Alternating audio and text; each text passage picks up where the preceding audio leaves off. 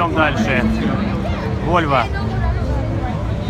У меня в России очень долгое время была машина именно Volvo. Сначала я ездил на S60, потом на S80.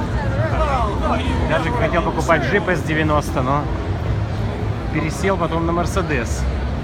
Пересел на Mercedes, ездил на ML долгое время, потом на S-класс уже. Вот последняя машина у меня была S-класс в России. Хорошие времена, когда деньги были. Потом все потерялось. Уехал в США. Что Volvo я люблю. А, 86 тысяч долларов. Что-то прям дорого. Думаю, что это очень дорогая комплектация именно, именно вот здесь, которая представлена.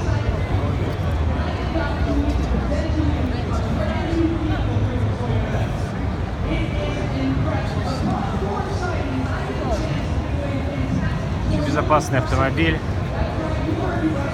Volvo борется всегда за безопасность. Definitely a lot more space than the 5.6.